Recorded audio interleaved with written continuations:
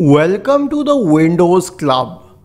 If you encounter the error fix page fault in nonpaged area with the error code 0x0000050 error then either read through this article on the Windows Club or simply watch this video I'll guide you to the resolution. First of all you need to test your memory and by memory I mean the RAM. So Press the Windows key and the R button together to open the run window. Type the command mdsched.exe and hit enter. This will open the memory diagnostic tool. Click on this option to restart now and check for problems. The next solution would be to run the system file checker scan. Search for command prompt in the Windows search bar and click on run as administrator to open the elevated command prompt window. In the elevated command prompt window, type the command sfc space forward slash scan now and hit enter to invoke the sfc scan.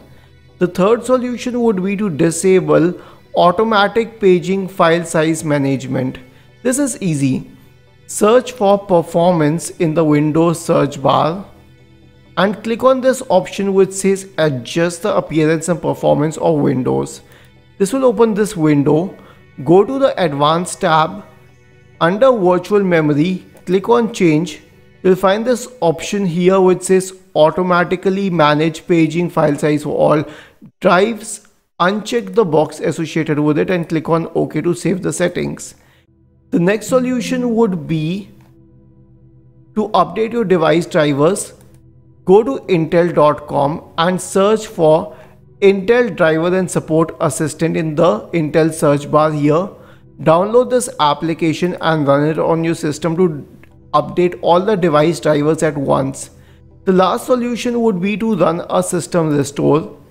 Search for recovery in the Windows search bar and click on this option which says recovery control panel.